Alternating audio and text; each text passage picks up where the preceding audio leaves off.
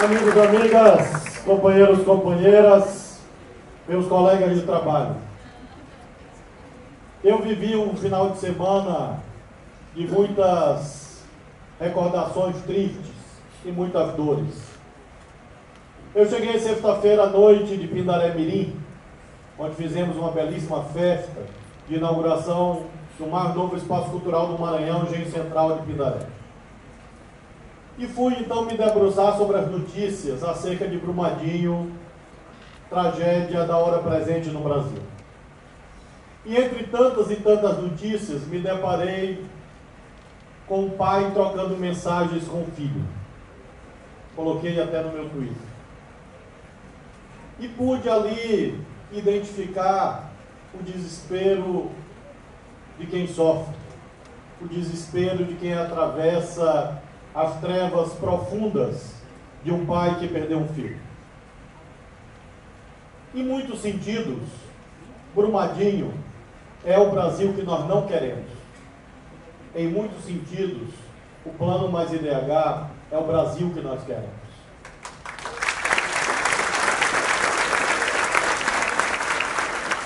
Em primeiro lugar, porque que tornou Brumadinho possível, essa tragédia que levou mais de 400 brasileiros,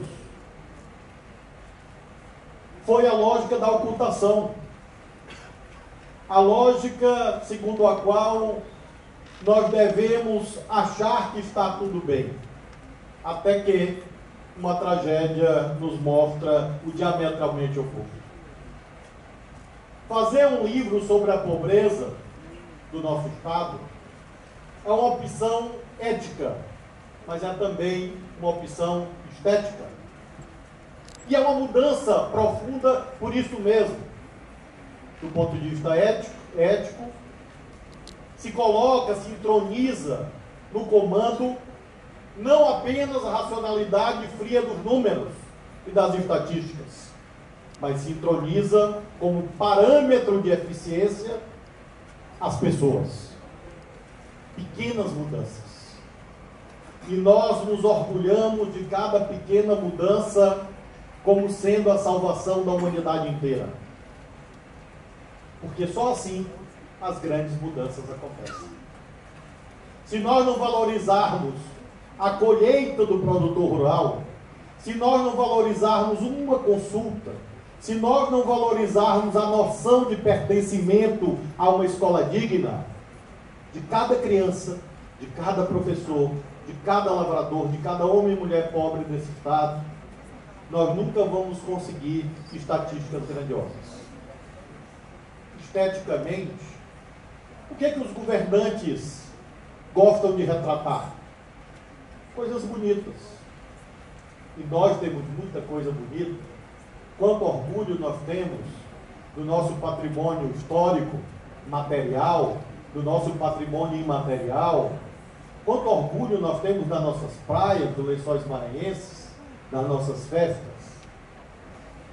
Talvez, numa visão tradicional da política, esse livro fosse até um tiro no pé. Porque lá, meus amigos, tem fotos das pessoas tais como elas são. Sem fantasia e sem Photoshop. Lá estão histórias do cotidiano duro, terrível, de milhões de irmãos e irmãs do Maranhão. Mas essa opção estética, ela é premissa de transformação. Porque se nós escondemos, nós vamos amanhã nos debruçar com o mar de lama, tal qual Brumadinho. Porque em algum momento ela emerge, em algum momento ela aparece. Nós optamos de fazer um governo transparente e um governo que não tem medo de enfrentar as verdades. A verdade, minha gente, é que nós fizemos muito e nos orgulhamos disso. Mas a verdade mais desafiadora é que nós temos muito muito e muito mais para fazer. Na verdade, nós fizemos uma pequena fração daquilo que o povo do Maranhão merece. Por isso, tome o livro como um retrato, mas acima de tudo, como um manifesto político, como uma peça viva de organização do nosso segundo mandato. Tomem como um convite, uma conclamação, para que nós perseveremos. Nós perseveremos nessa opção profunda pelos mais pobres, de verdade. E isso, às vezes, tem ônus e preços. Porque os recursos são finitos, os recursos são escassos, e optar pela distribuição de renda e pela luta pela igualdade sacrifica às vezes outros interesses, sacrifica às vezes outras reivindicações, mas eu tenho a dimensão exata de que um bom governo não se faz a frio, se faz a quente. Um bom governo se faz sem lágrima. Um bom governo não se faz sem sentimento. Um bom governo não se faz sem sofrimento. E o sofrimento ensina, porque o sofrimento humaniza. E o sofrimento aproxima as pessoas. Por isso, eu carrego comigo as dores do povo do Maranhão, porque o dia que eu não senti-las mais, eu não sirvo mais para governar o Estado. O dia que nós tivermos indiferença com as dores do próximo, procure outra coisa para fazer, porque nós não servimos mais para serem para sermos servidores públicos. Procure outra coisa. Eu, como servidor público, assim considero.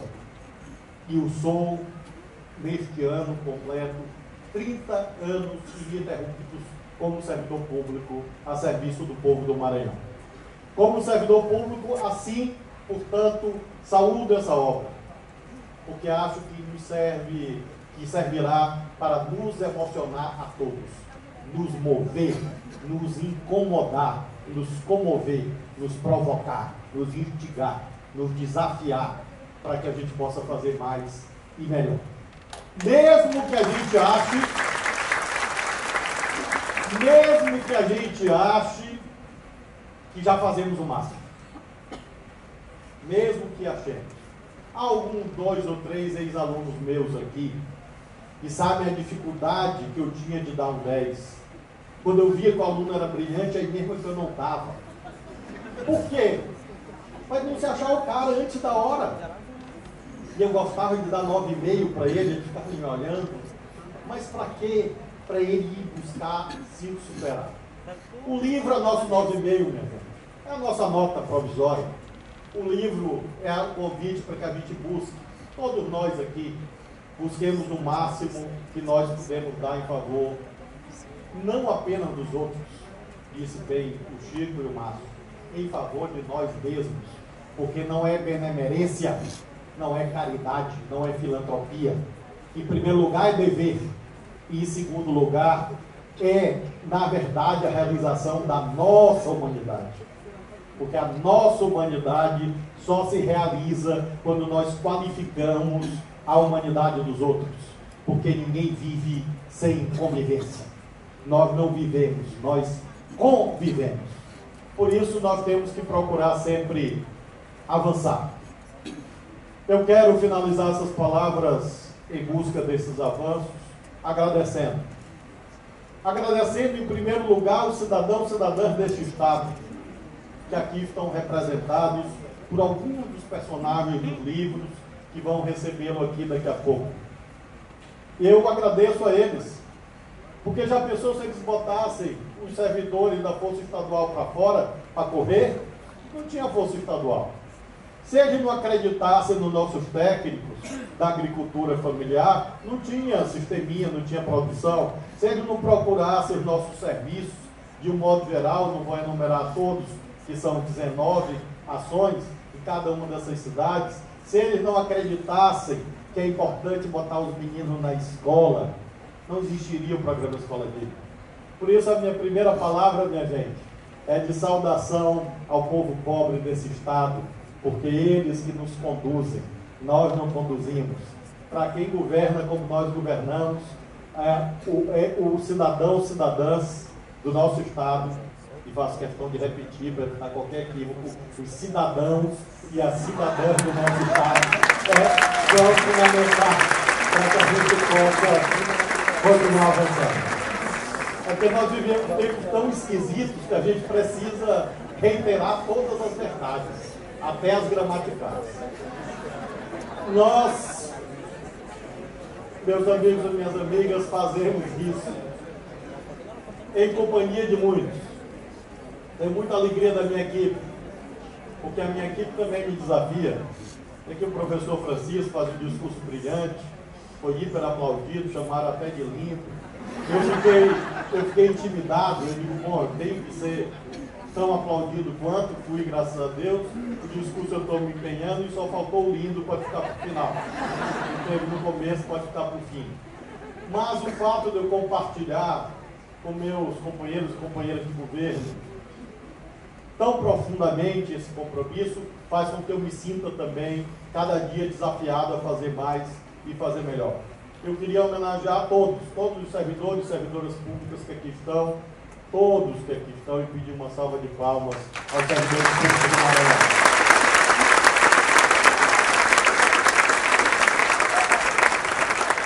Quero agradecer aos prefeitos e prefeitas do nosso estado, especialmente aqui dos municípios do Plano Mais IDH. Aqui está o senhor prefeito de Afonso Cunha, a senhora prefeita de Arame, o senhor prefeito de Belágua, de Centro Novo, o prefeito de São Caru, São Roberto, Santa Filomena, o Idan Torres, que representa a todos nessa mesa, também a senhora prefeita Urbano Santos, Iracema, está presente.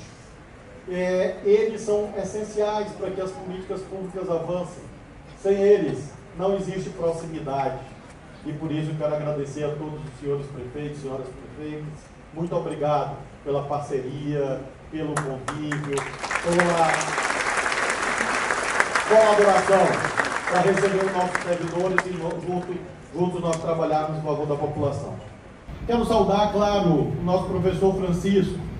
Eu era militante do movimento estudantil secundarista e Chico já era um destacado quadro, quase aposentado do movimento estudantil da Universidade Federal do Maranhão. E eu olhava e dizia, quando eu crescer e eu engordar, não precisava ser tanto, eu vou ser parecido com esse cara aí, que esse cara é bom. E eu tenho muito orgulho, Chico, de, de, de, ter no nosso governo e estarei com muito gosto na tua festa de 60 anos. Creio que será esse ano já, né? Daqui a dois anos. Uma salva de palmas para você, prefeito Gonçalves.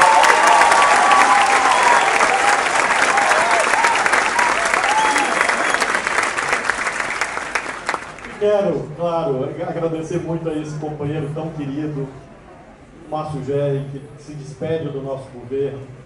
Nós fazemos política juntos há 36 anos. Quando eu estava jogando uma partida de xadrez, acreditem, aliás, é fácil acreditar, é o esporte que eu praticava. Né? Falta de vocação para outro. E aí eu estava lá jogando uma partida decisiva de xadrez e o Márcio aparece na porta e, eu, e me chama, eu peço licença, vou lá e o e Márcio diz, Flávio, nós temos que fazer uma greve do transporte de ônibus de São Luís, Brandão. E tal, e é urgente. Aí eu fui lá com o meu adversário, né? E eu disse, olha, eu estou, tecnicamente você derruba o rei, né? Derruba o rei, disse, olha, estou entregando, estou aqui porque tem uma urgência aqui. Agradeci o cara, e saí. E aí, Brandão, eu cheguei para ele, Márcio, e agora? Onde é que está a reunião, a passear? Não, nós dois que vamos fazer. eu, aí eu tentei voltar para a minha partida de xadrez, né? eu fui enganado. Eu imaginei que era realmente urgente. Mas o Márcio sempre foi um grande ativista político, um sonhador e uma pessoa em relação à qual eu tenho muita confiança. E quero agradecer uma coisa muito especial nesses quatro anos. Agradecer ao Márcio pelas vezes que ele apanhou no meu lugar. Porque muita gente queria falar mal do governador e por simpatia, por, por carinho, aí não queria falar mal de mim, falava mal do Márcio. Não, o Flávio é um cara bacana, mas aquele Márcio Gé, então eu quero te agradecer, e, e muitas vezes era uma injustiça. Então eu quero Aliás, eu tirei quase todas, eu não justiça. Mas o, o Márcio teve uma grandiosa votação para deputado federal que mostra que essa injustiça realmente foi reconhecida e eu tenho certeza, Márcio, que vai fazer um grande trabalho lá na Câmara, na defesa do nosso governo, na defesa do Maranhão, e vai mostrar ao Brasil todos os talentos. E veja, é um dos melhores quadros políticos da minha geração no Maranhão, Márcio Dieck, agora é deputado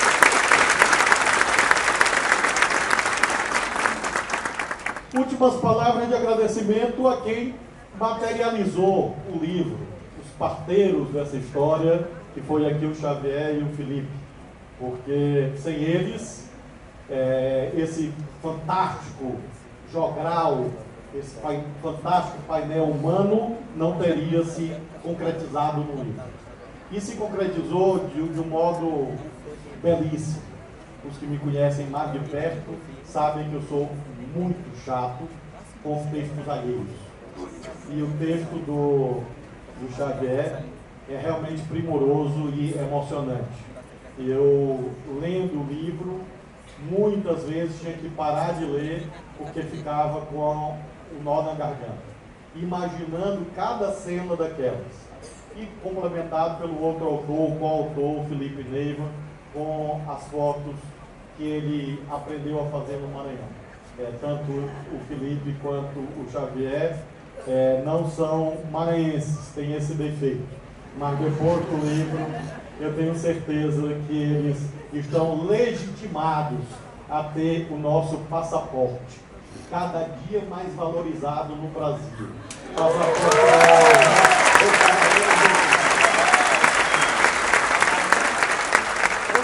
Não que a gente seja a oitava maravilha do mundo, não somos ainda.